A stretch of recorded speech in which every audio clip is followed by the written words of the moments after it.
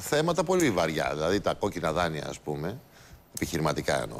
Τα κόκκινα επιχειρηματικά που είναι τώρα, γιατί τα στεγαστικά είναι με το νέο έτος. Αν το, η κατάληξη της διαπραγμάτευσης σε έναν τομέα σημαντικό και για την κοινωνία και την οικονομία και για τις τράπεζες, σας ικανοποιεί.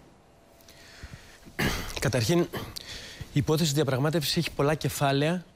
Πρέπει κανείς να τα δει ξεχωριστά, αλλά και κυρίως όλα μαζί. Για να δει την συνολική εικόνα, πώς διαμορφώνεται. Εγώ νομίζω ότι έτσι όπως έχουμε πάει μέχρι τώρα, πρέπει να είμαστε σχετικά ικανοποιημένοι. Το λέω σχετικά ικανοποιημένοι, διότι σε κάθε περίπτωση μιλάμε για δύσκολα μέτρα, για επιπτώσεις στον κόσμο και πολύ περισσότερο. Κανείς πρέπει να αντιληφθεί ότι αυτές οι επιπτώσεις δεν είναι νέες, αλλά είναι σορευτικές. Όταν τα προηγούμενα 4-5 χρόνια ε, το μεγάλο κομμάτι της ελληνικής κοινωνίας έχει συμπιεστεί και το παραμικρό Ναι, αυτή τη στιγμή που βρίσκει μπροστά του πολλαπλασιαστικά, έτσι, έτσι, ναι. σωστό. έτσι, αγγίζει πια τα ωριά του. Αλλά πέρα από αυτό, νομίζω ότι το βασικότερο απ' όλα και σας το θυμίζω, ε, διότι προηγήθηκε τελικά και έτσι πως ήταν το αρχικό χρονοδιάγραμμα, τώρα θα το βλέπαμε, το θέμα της ανακεφαλοποίησης των τραπεζών. Αυτό έχει μια ξεχωριστή ποιοτική σημασία. Διότι δημιουργεί όρους σταθεροποίησης πια συνολικά για την οικονομία. Ήταν ως ένα βαθμό η αχίλιος πτέρνα της ελληνικής οικονομίας, το τραπεζικό σύστημα. Όπως και για κάθε οικονομία είναι το τραπεζικό σύστημα. Εντάξει, αλλά. ε, Το γεγονός ότι αυτή τη στιγμή πλέον έχουμε ανακεφαλοποιημένες τράπεζες, αυτό έχει αρχίσει και λει- λειτουργεί καταλυτικά πια για το πώς βλέπουν την οικονομία. Ξένοι παράγοντες, επενδυτές, η παγκόσμια οικονομική κοινότητα, εμπειρογνώμονες. Και θεωρώ ότι θα αρχίσουν να το αντιλαμβάνονται πλέον και οι πολίτες από, τις, από τα μέσα την άνοιξη της επόμενης χρονιάς. εντάξει, αλλά. ας Άρα λοιπόν αυτό, αυτό το κερδίσαμε και είναι πολύ σημαντικό. Ναι, να δούμε τι κερδίσαμε εδώ. Μισό λεπτό όμως, γιατί εδώ ασκείται μια κριτική στην κυβέρνηση και στο ΣΥΡΙΖΑ από μια άλλη σκοπιά. Δηλαδή, ε, για το δηλαδή, θέμα της ανακεφαλαιοποίησης Ναι. των τραπεζών. Λέει δηλαδή μια άποψη ότι εντάξει, ναι, προφανώς, σε, σε αυτά που λέτε, αλλά η κυβέρνηση μας έλεγε ότι για αυτήν παίζει ένα σημαντικό ρόλο η κρατική παρουσία, η δημόσια παρουσία στο τραπεζικό σύστημα. Και με την ανακεφαλαιοποίηση η δημόσια παρουσία μειώθηκε πάρα πολύ. Σε μερικές έχει σχεδόν εκμηδενιστεί. Και ένα στοιχείο είναι αυτό της κριτικής. Και το δεύτερο στοιχείο της κριτικής έχει να κάνει με τη συνέχεια των κόκκινων δανείων που αυτή τη φορά είναι η αλήθεια μπαίνουν, ας πούμε, Άρα, ε, στη λύση το του πιο τραπεζικού. σημαντικό από όλα είναι να ξεκινήσουμε από αυτό, το θέμα των κόκκινων δανείων. Ανακεφαλοποίηση η οποία δεν θα απαντούσε στο πρόβλημα των κόκκινων δανείων θα ήταν μια ανάπηρη, μια λειψή ανακεφαλοποίηση. Εδώ για πρώτη φορά αγγίξαμε τον πυρήνα της αφαιρεγκαιότητα του τραπεζικού συστήματος, που ήταν τα κόκκινα δάνεια. Τα κόκκινα δάνεια δεν δημιουργηθήκαν ούτε τον τελευταίο χρόνο ούτε τον προτελευταίο χρόνο. Είναι το αποτέλεσμα μιας ολόκληρης πορείας που σχετίζεται με το πώς, εν πάση περιπτώσει, Ναι, αλλά προστατεύονταν κινείται η μέχρι τώρα ελληνική ο Σπύρος. οικονομία. Δεν έβγε- ούτε δόθηκαν σε ξένα φαντς, ούτε πάμε για πληστηριασμούς. Ενώ τώρα τα έχουμε και τα δύο. Θα το δούμε. Τώρα μιλάμε πώς απαντήσαμε και αν απαντήσαμε τελικά αυτό, στον εντάξει, πυρήνα του στον πυρήνα προβλήματο, του στη γενεσιουργό αιτία. Εντάξει. Και αυτό το νομίζω ότι τα καταφέραμε. Ε, από εκεί και έπειτα μιλάμε για παρουσία του ελληνικού δημοσίου. Η μέχρι τώρα η παρουσία του ελληνικού δημοσίου ήταν στα χαρτιά, στα λόγια. Διότι δεν επηρέαζε ούτε τις διοικήσεις ούτε είχε και ψήφο το ελληνικό δημόσιο. Είχε βάλει λεφτά όμως. Ναι, είχε βάλει λεπτά που ούτως ή άλλως αυτά ακριβώς επειδή οι προηγούμενες προσπάθειες ανακεφαλαιοποίησης ήταν στον αέρα, εξαναμίστηκαν. Ναι, αλλά η ίδια, Χαθήκανε. η ίδια κριτική σας λέει, κύριε Σκουλέτη, ότι. Τώρα λοιπόν, τώρα, αν προσέξτε, δεν τώρα είχαμε μπει λοιπόν, στο- στη διαδικασία αυτή του προηγούμενου 7 μήνου, δεν θα χρειαζόταν ανακεφαλαιοποίηση, θα χρειαζόταν μια ανακεφαλαιοποίηση Καλά, άλλου αυτό- τύπου που θα αυτό- περιλάμβανε αυτό, και τα. Αυτό είναι ένα και τα κόκκινα. πολιτικάντικο επιχείρημα το οποίο ε, δεν πάει μακριά. Διότι, όπως είπαμε πριν, ο πυρήνας του προβλήματος ήταν τα κόκκινα δάνεια. Τα κόκκινα δάνεια ήταν πάνω από ε, 100 δις σε ένα σύνολο 220 συνολικά που είχε δώσει το τραπεζικό σύστημα. Ε, αυτά δεν δημιουργηθήκαν βέβαια Δηλαδή, τώρα από τον είναι- Ιανουάριο που ανέλαβε ο ΣΥΡΙΖΑ. η ρύθμιση Έτσι, που το έγινε- μεγαλύτερο τους μέρος αφορούν την προηγούμενη περίοδο. Ωραία. Και προμνημονίου. Προφανώς. περίοδο. Εντάξει, Και τώρα δεν προμνημονίου. μιλάμε για έτσι, το, δεν το είναι- θέμα είναι αν η ρύθμιση αυτή προστατεύει το δανειολήπτη.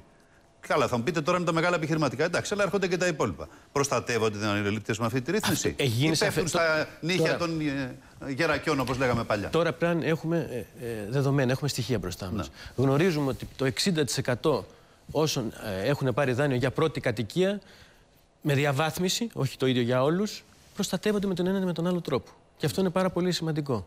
Προστατεύονται. την Κοιτάξτε να πρώτη δείτε, κατοικία η προ- μιλάτε. Για την πρώτη κατοικία Μάλιστα. μιλάω.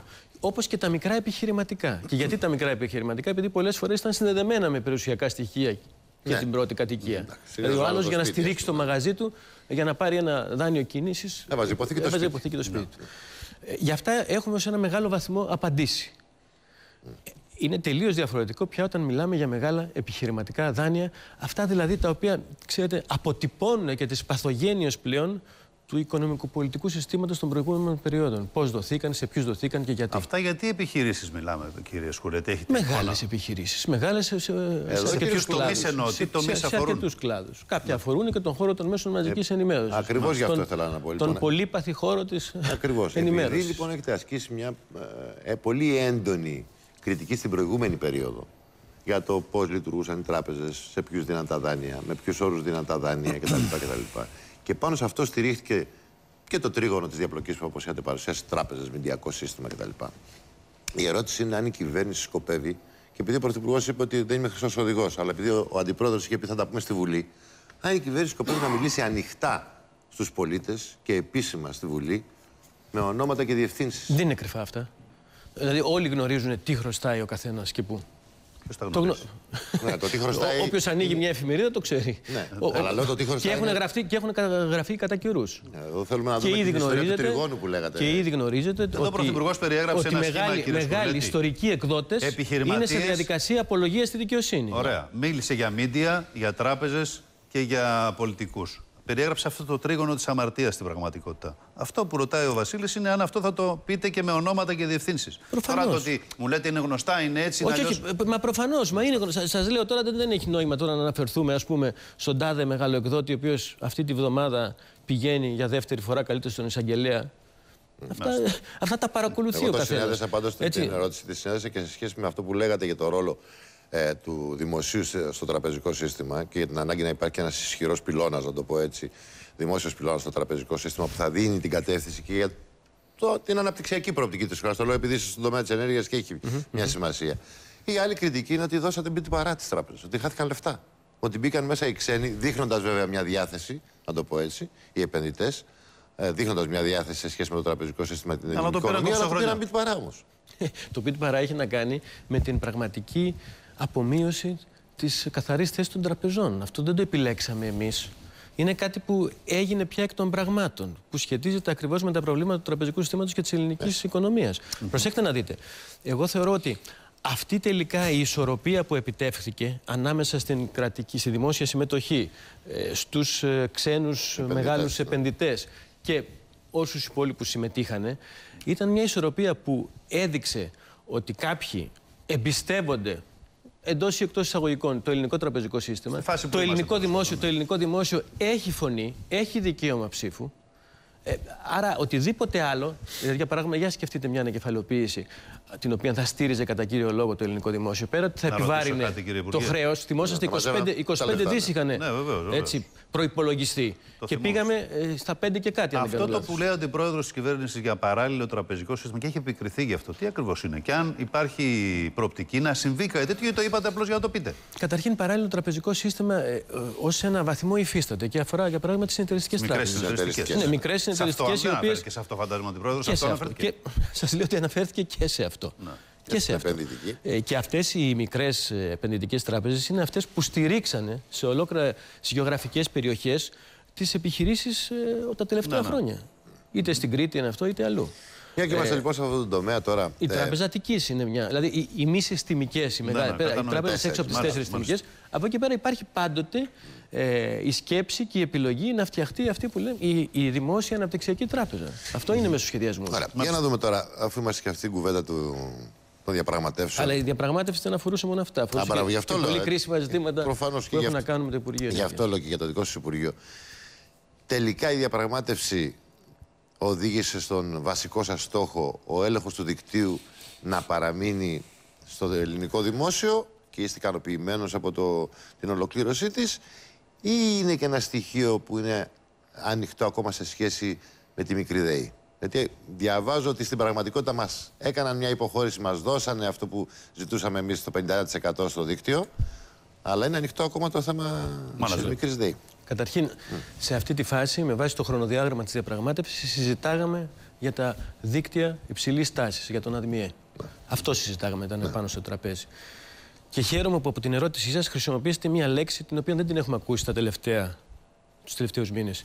Υποχώρησαν. Εγώ δεν θα το Ε, έλεγα άλλο θέλαμε ως εκπρόσωπος της κυβέρνησης υποχώρησαν, θα έλεγα ότι πετύχαμε.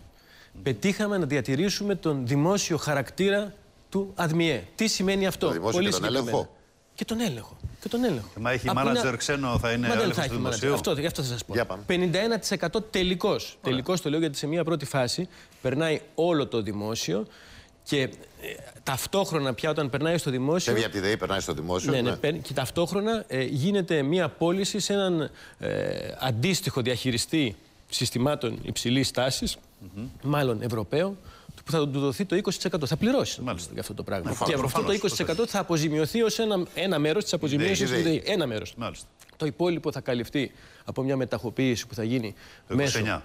Ναι, σταδιακά μέσω του Χρηματιστήριο. Μάλιστα. χρηματιστηρίου και ταυτόχρονα, αν αυτό δεν καλύπτει το σύνολο πια της ε, α- αποζημίωσης που πρέπει να πάρει η ΔΕΗ, θα υπάρξει σε ένα βάθος χρόνου ένα πλάνο ετησίως που Από θα το τα δημόσιο. κέρδη του νέου ΑΔΜΙΕ που θα πηγαίνουν εκεί. Άρα η ΔΕΗ είναι καλυμμένη. Το κουμάντο ποιος θα το έχει στην εταιρεία; Τώρα, Τώρα, η ΔΕΗ είναι Για το καλυμμένη και τα λεφτά. 51-49 μπορεί να μην λέει τίποτα, κύριε στη Υπουργέ. δική, μισό, μισό. Ακριβώς, η διοίκηση έχει Στη σημασία. διοίκηση λοιπόν θα υπάρχει και ορίζεται α, με- με σαφήνεια, απόλυτη σαφήνεια, πλειοψηφία του δημοσίου.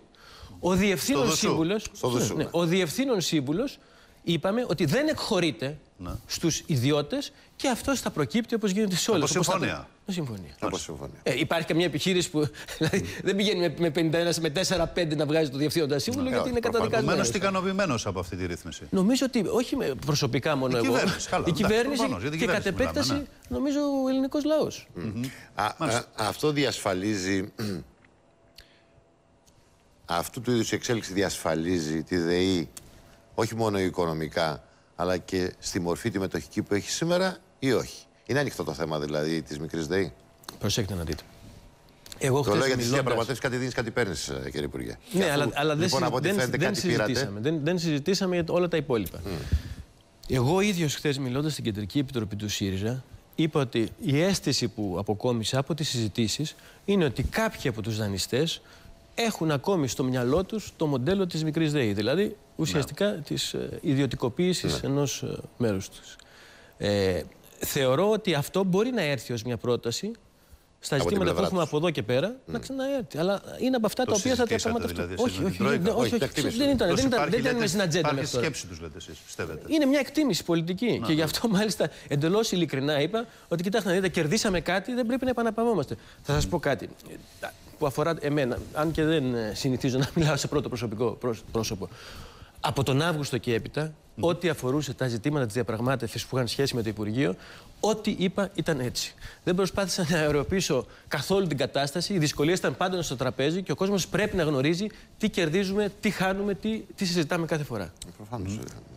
Κρυφά γίνονται αυτά προφανώς. Όχι, γιατί καμιά φορά ξέρετε. Καλά. Όχι, εγώ σας, γιατί σας ρωτάω. Να κάνω την ερώτηση, θα κάνουμε και ένα διάλειμμα, το συζητήσουμε μετά. Σας ρωτάω, γιατί η χώρα είναι υποχρεωμένη να μπει στην ιστορία της απελευθέρωσης αγοράς ενέργειας; Με αυτό το βήμα που έγινε για παράδειγμα τον ΑΔΜΙΕ, σε αυτή την κατεύθυνση. Σε αυτή την κινείται κατεύθυνση. Και σωστά το, το θα έλεγα. καταλαβαίνω απολύτως. Εντάξει, λέω λοιπόν, αν αυτή η υποχρέωση μας οδηγεί σε ένα περιβάλλον που απλώς δίνει τη δυνατότητα σε κάποιους επενδυτές να επενδύσουν στον χώρο της ενέργειας και η ΔΕΗ να παραμείνει ως έχει, ως ένας παίκτης αυτό το, με την πλειοψηφία του δημοσίου στον χώρο της ενέργειας, ή αυτό σημαίνει ότι η κυβέρνηση θα μπει σε μια διαδικασία να σπάσει τμήματα της ΔΕΗ για να μπουν δια αυτού του τρόπου οι επενδυτές στην Προσέξτε. αγορά ενέργειας. Κρατήστε το, να κάνουμε Μετά το με το διάλειμμα να διάλειμμα, έχουμε ναι. χρόνο. Διάλειμμα και επιστρέφουμε.